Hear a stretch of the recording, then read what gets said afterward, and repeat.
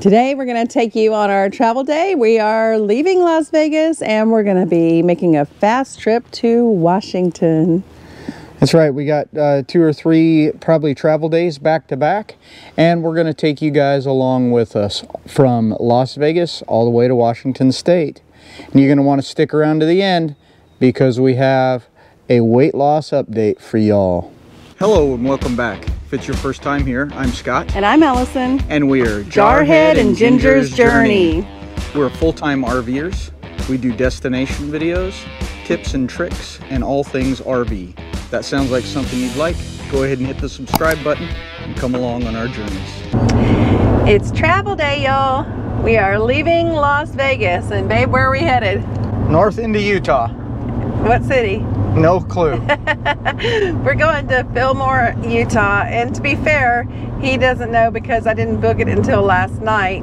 Um, so that's how we're doing this portion of the trip. We're going up to Washington pretty quickly from Las Vegas. We're only going to stop um, one night unless the weather tells us otherwise. Um, and I think four different stops on our way to Washington. And so we'll take you along for the ride. And it's going to be cold up here, right?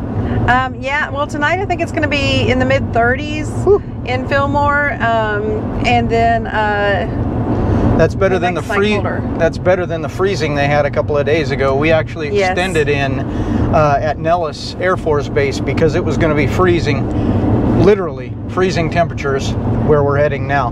Guys, it's mid-April, almost the end of April. Yeah. April, and we've still got freezing temps on our route. Yeah, April 24th. we saw that there's a possibility of snow uh, in the west in the next couple of days, but I looked on our route and it looks like we're going to be clear. Let's hope and pray so. well, we'll take you along and we'll show you if we get snow, there's going to be a problem. so far, we've almost made it all year without snow. One snow flurry down in Texas. Didn't stick, only a few flakes. We're still calling that a loss, but not on the ground. We don't want any on the ground. Nope.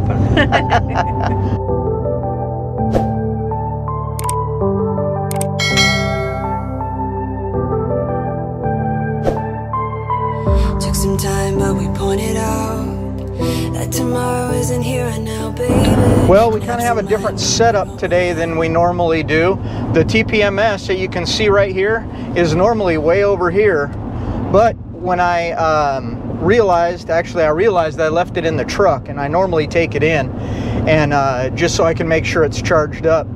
And it was actually left on the whole time so it was almost dead. Luckily it shuts itself off um, but it only had one little dot of power left. So instead of putting it over here, I slid it over there underneath the rear view mirror and we actually plugged it into the truck. So that's not normally there, uh, but hey, you know, life of full-time RVers, you never know what to expect. You gotta improvise, adapt, and overcome.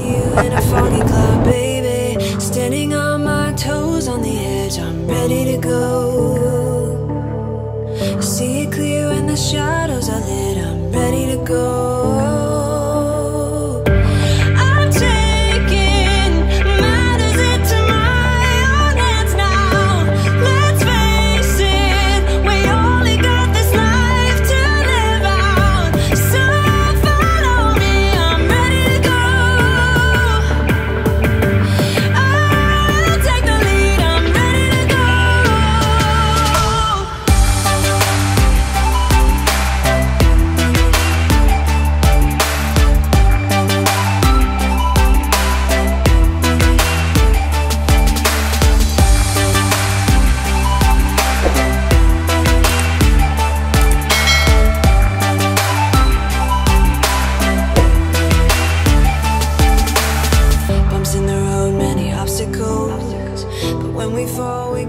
We found this KOA journey in Fillmore, Utah and stayed a night here. It's a nice little KOA, uh, only 50 some sites, very friendly staff inside and we were just here for the night like I said. It's kind of in a, a small town in the middle of nowhere, Utah, but uh, it was very nice stop for the night. If you could see, if it wasn't snowing, that's right, snowing today. that was not in the forecast, or definitely not in our plan plans. There's a beautiful mountain range back there, snow-topped. It's gonna have, have even more snow now, but I'll show you our site.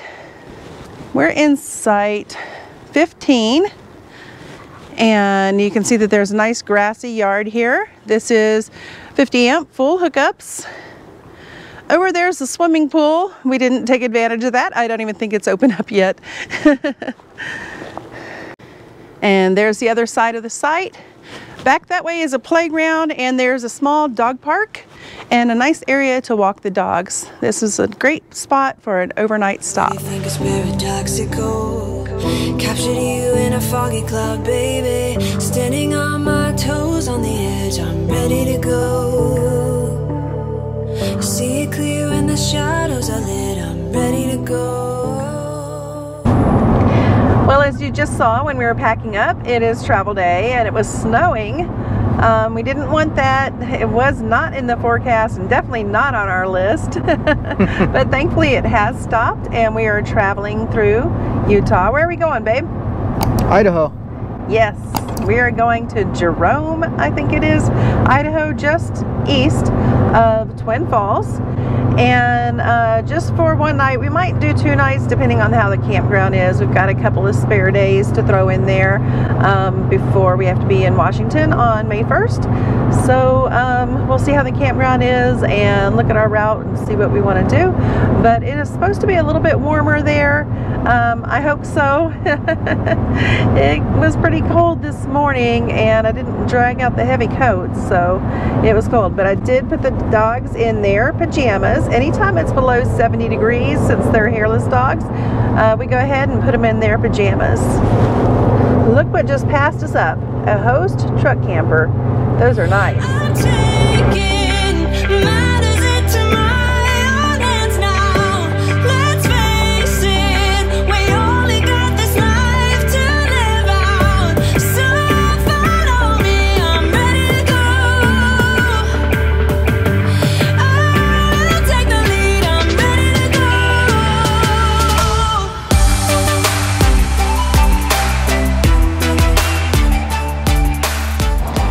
Here's our site here, guys, at Village of Trees RV Resort, right near Burley, Idaho. We did get full hookups, so there's 50, 30 amp water and sewer here, which is nice.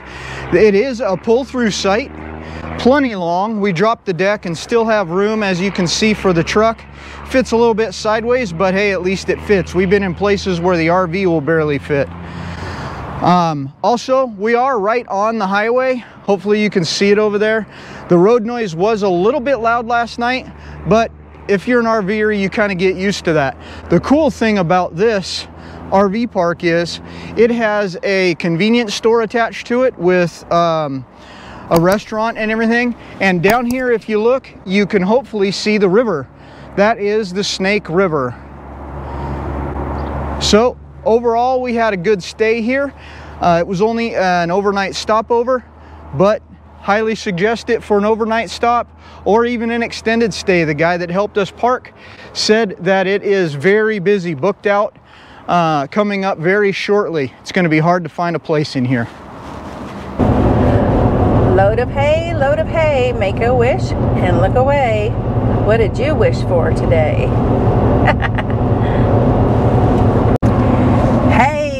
y'all. it's travel day again.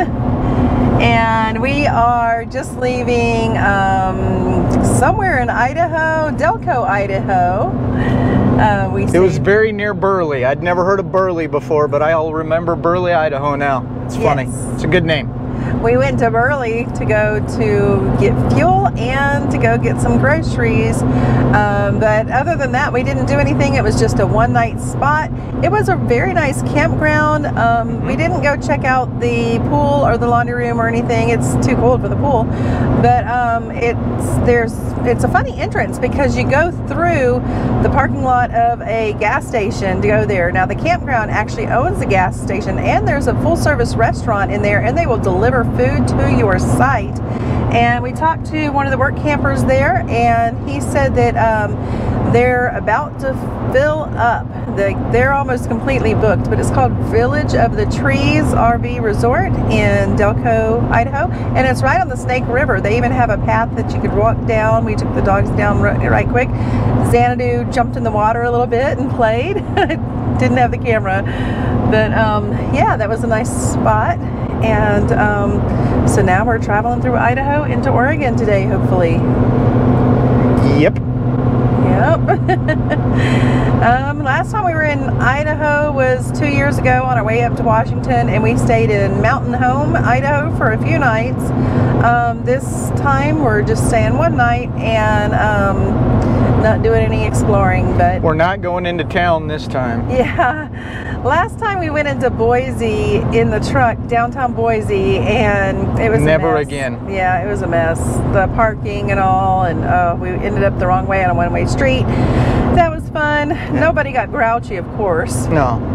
One-way streets everywhere, empty, closed parking lots, people honking at you and cutting you off. It was a great time. yeah, sure it's a nice place, but not in a dually. All right, we're going to take you along for the ride.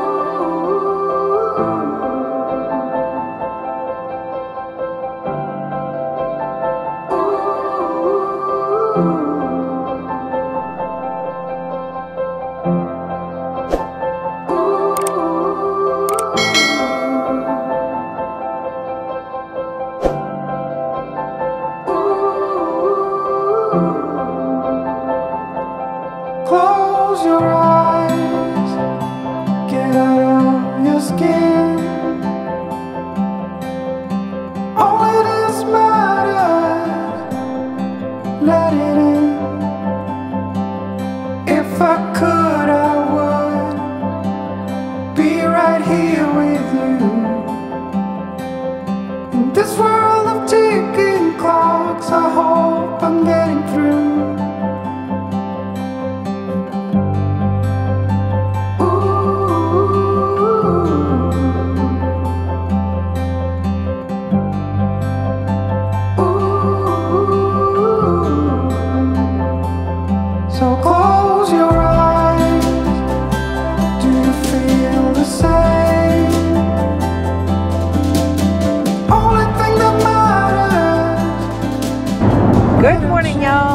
Travel day again.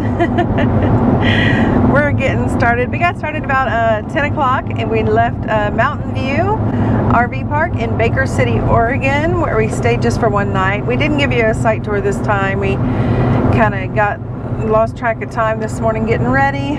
And um, so today we decided to change our route, babe. Where are we going? We're going to Washington. Yeah, yeah, we were going to Washington yesterday, but we were going to go a different route today instead of going. Um, well, we've got reservations on Monday at a Thousand Trails Park, and it's Thursday, so instead of spending money on days out of park, I decided let's just go to the Crescent Bar Park in near Wenatchee, Washington. Uh, Scott's aunt lives there, and my good, my good friend, my um, best stepmother I never had, I call her, uh, lives there too. So we're traveling to that area today. We might even go to, um, what's that little German town in Washington? I give up. I, I can't. I can't remember the name of it right now, but we might go there. I don't know. Leavenworth. That's it. Yeah, I don't know how far that is or whatever, but we're finally gonna stop. We're not just staying overnight and moving again. That'll be nice for a change. Yeah, we'll We've be been going every day for three or four days now. Yep, three nights in a row. So now we're going to stay there for four nights, and then we're going to go on to our next stop for two weeks. So uh, we'll take you along to see some of this uh, pretty scenery. Into my contrasts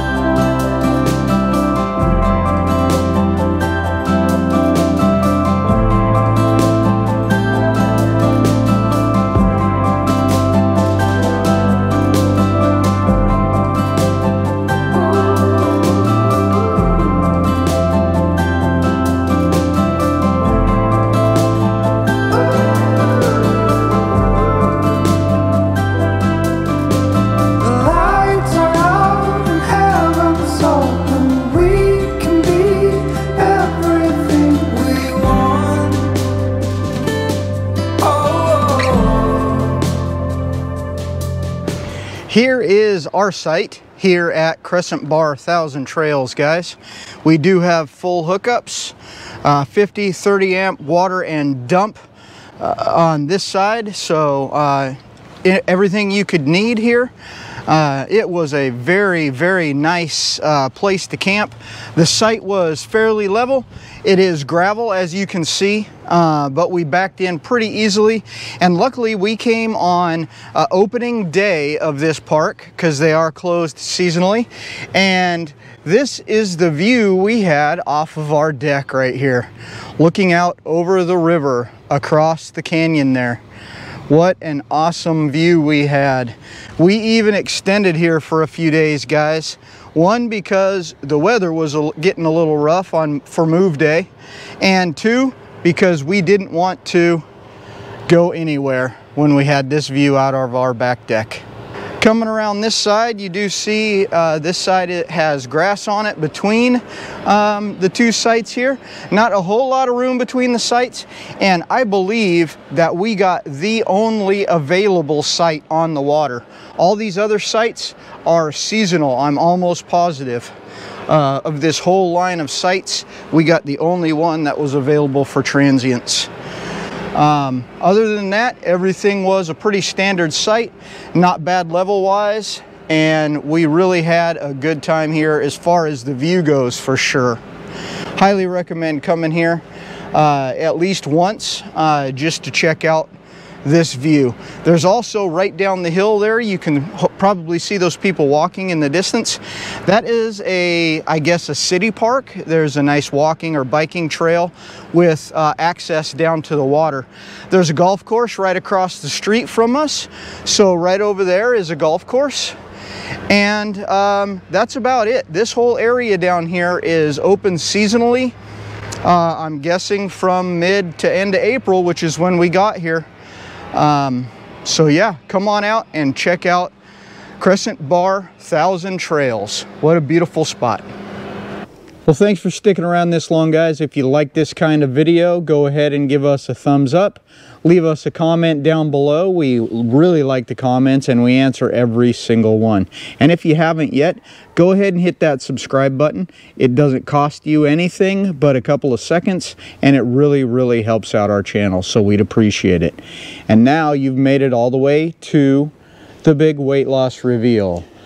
Today was weigh day again and I lost zero for a total of 29 pounds, still down. And he's so close to the end, he's only got five pounds to go. So he had a plateau week, and I think next week he'll be even closer to that big uh, final number. Yeah. And I lost uh, three pounds even for a total of 37 and a half pounds. Um, I'll call it 38 in 13 weeks. And let me tell you right now, we have a special going on. You can save $100 off the program. Uh, it's the May special. So go ahead and contact us. There's going to be a link in the description. And we'd love to chat with you about it, about what we're doing, and see if it'll be a good fit for you. Absolutely. So just get in in contact with us, click that link, fill it out and send it back or just send us some kind of message. We'll always have time to talk to you guys about getting healthy. Well, as always, Semper Fi. And God bless. Hello, I'm Dee, Bob Vandy on YouTube, and I'll see you next time on Jarhead and Ginger.